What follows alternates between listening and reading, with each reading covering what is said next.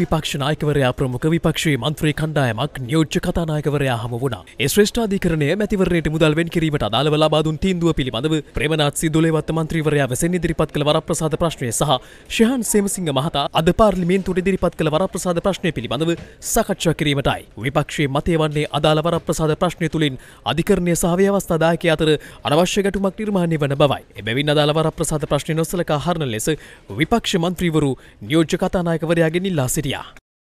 ඇත්ත කෙටියෙන් දත්ත වැඩියෙන් සයිබ අවකාශය කළඹන වුවත් සලකුණ නිවස් ෆර්ස්ට් YouTube චැනලය අදම සබස්ක්‍රයිබ් කරන්න. නිවස් ෆර්ස්ට් ජනතාව සමඟ